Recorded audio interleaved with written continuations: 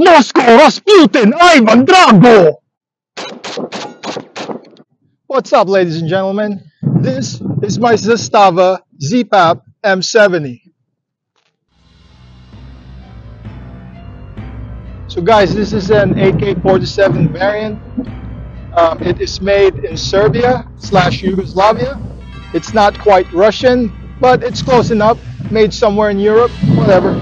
And I don't know much about AK-47, so I'm just gonna tell you guys what uh, I know about it. This one has a maple wood furniture. Got a charging handle over here. Magazine release. It came with one 30 round magazine and it came with a cleaning rod. Got your safety, safety on, safety off.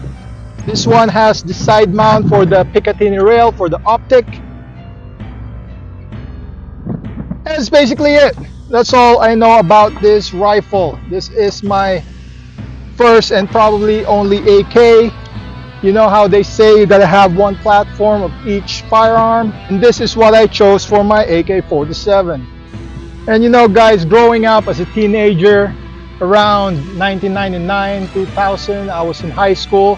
I play this game called Counter-Strike and one of my favorite weapons in the game is the AK-47. So this is just not an iconic and probably the most popular rifle in the world this was also part of my childhood likes. So enough talk, let's just shoot this thing and see what it's capable of.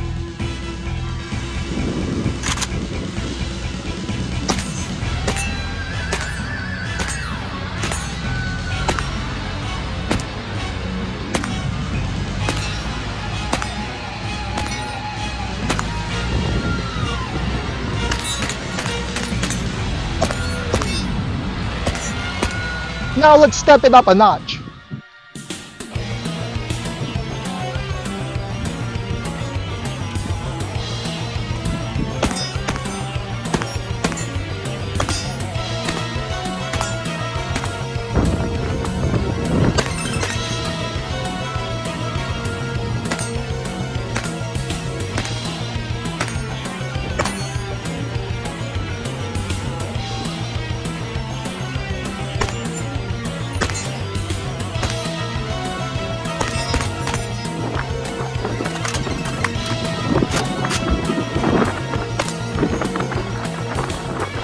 So I hope you guys enjoy the video. Also check out my other videos if you guys have time.